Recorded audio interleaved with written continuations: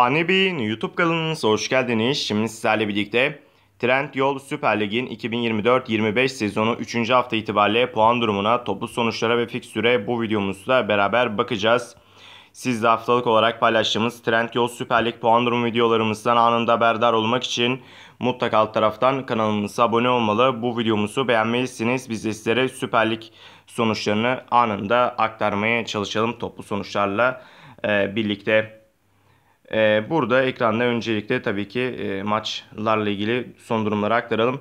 Alanya Spor 1, Göztepe 1, Sivas Spor 0, Eyüp Spor 1, Galatasaray, Gaziantep Futbol Kulübü maçı ertelendi. Bodrum Futbol Kulübü 3, Konya Spor 1, Kasımpaşa 2, Adana Demirspor 2, Samsun Spor Başakşehir ertelendi.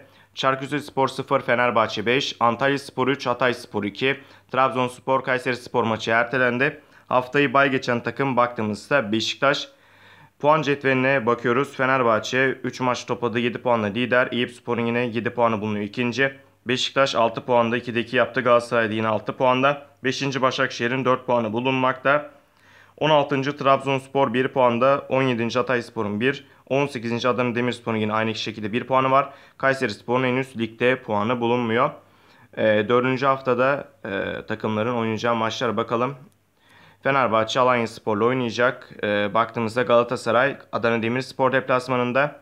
Trabzonspor Eyüp Spor deplasmanında oynarken Beşiktaş kendi sahasında Sivas Spor'la karşılaşacak. Yani puan cetveline baktığımızda yine heyecan dolu bir Süper Lig bizleri bekliyor olacağız. Gerçekten ekranda görebileceğiniz üzere önemli maçlar oynanacak. Bu videomuzda 26 Ağustos'un e, Süper Lig puan durumuna 3. hafta itibariyle bakmış olduk. Videomuz bu kadardı. Umarım videomuzu beğenmişsinizdir. Video beğendiyseniz aşağıdan beğen butonuna kılmayı unutmayın. Kanalımıza abone değilseniz lütfen abone olun. Bir sonraki videomuzda görüşmek üzere. Hoşçakalın. Kendinize iyi bakın.